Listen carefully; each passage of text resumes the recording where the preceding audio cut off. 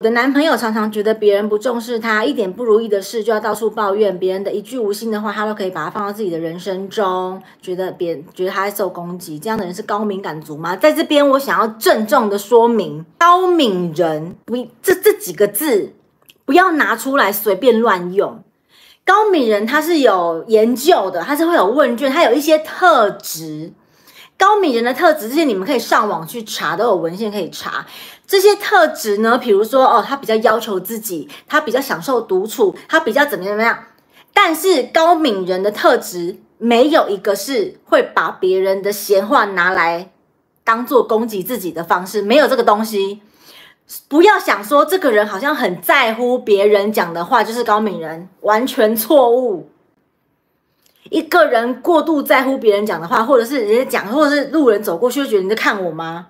这不是高敏人，有时候可能这个是自卑，或是幻想，或是干嘛，跟高敏没有关系。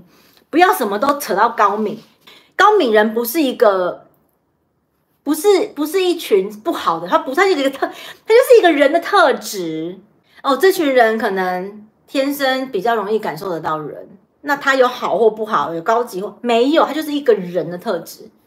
那会把别人讲的话放在自己的人生当中，会觉得哈他在说我吗？诶，他为什么今天不跟我讨论？他是不是不重视我？为什么我明明就是他的主管，他为什么要越级？他为什么要跟别人讨论我不够？是怎样？我的地位不够吗？我的重量不够吗？这是高敏人吗？不是哦，比较有可能是自卑。这是也是要更深入的去讨论，就是为什么你会这么过度的把别人的行为放大解释？你是觉得自己太重要了吗？还是你是你的价值是建立在别人的行为上？如果是这样子的话，你自己都没有办法肯定你自己的价值，就只能活在别人的嘴巴中。那这个不是高敏人哦，这个是被牵着鼻子走的人。